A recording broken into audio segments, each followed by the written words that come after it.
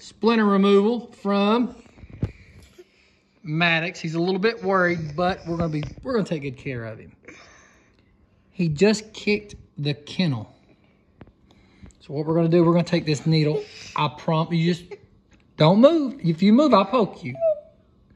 We're just gonna get the skin, watch. See, look at that. Look how he's, did you feel that? Did you even feel that? We're gonna get the skin out of the way.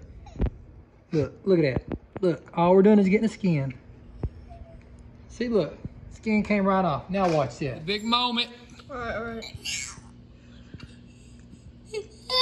It's coming out. Don't move.